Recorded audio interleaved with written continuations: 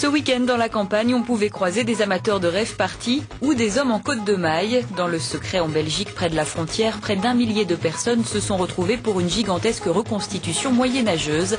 Petit voyage vers le passé.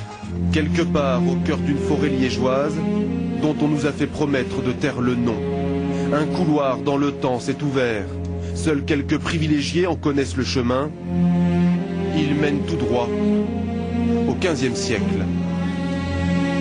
C'est l'époque où les troupes redoutables de Charles le Téméraire, duc de Bourgogne, viennent mater les Liégeois. Vive le duc Vive Notre-Dame Et vive Bourgogne Composée de mercenaires, c'est la plus grande et la plus puissante armée d'Europe. Dans la population, l'épisode a laissé des traces. Ce camp retranché accueille près de 900 passionnés venus des quatre coins d'Europe. qu'on est vraiment ici euh, dans l'Europe euh, comme on pouvait le trouver au Moyen Âge, parce qu'il ne faut pas oublier qu'à l'époque, euh, c'était vraiment une Europe où on aimait voyager, et en particulier nous les mercenaires, puisqu'on recrutait à travers toute l'Europe. C'est le seul grand rassemblement de ce type en Europe, complètement fermé au public. C'est pourquoi ils ne souhaitent pas dévoiler le lieu de leur rencontre.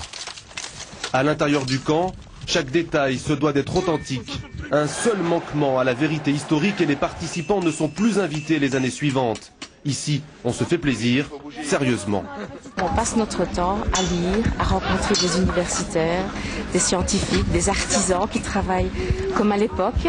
Reconstitution historique ou histoire vivante, le travail des plus passionnés commence à être reconnu par les archéologues, qui leur demandent parfois conseil pour comprendre l'utilisation ou l'usage d'un objet découvert lors d'une fouille. Grâce à leur expérience, il n'est pas rare qu'ils aient la réponse.